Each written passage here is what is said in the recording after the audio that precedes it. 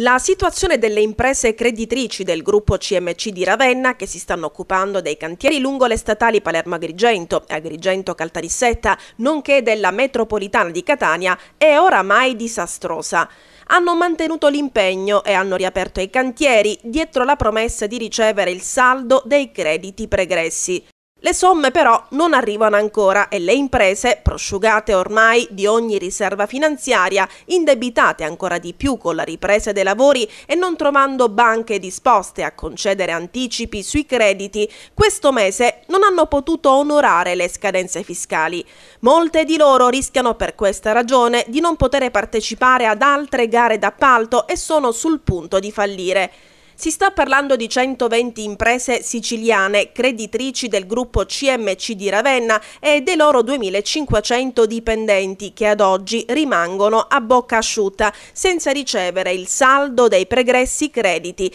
per 60 milioni di euro attendono con ansia che il Senato approvi entro questa settimana il decreto crescita che contiene il fondo salva imprese, al momento l'unico salvagente che li possa salvare dalla bancarotta. Il Comitato delle imprese creditrici però si dice preoccupato perché legge sulla stampa di fibrillazioni interne a Palazzo Madama che, seppur non avendo nulla a che fare con la situazione siciliana, potrebbero mettere a rischio l'iter che le imprese sperano venga presto approvato. Le imprese però chiedono che il decreto venga approvato all'unanimità. In questi cinque mesi di dura vertenza, dichiara il Comitato dei Creditori, abbiamo ricevuto la massima attenzione e disponibilità a tutti i livelli istituzionali e politici in ambito governativo e parlamentare. Siamo pieni di fiducia e speranza, conclude Salvatore Giglio del direttivo del Comitato e pur comprendendo il delicato momento politico facciamo appello a tutte le forze presenti in Senato affinché il salva imprese sia approvato all'unanimità.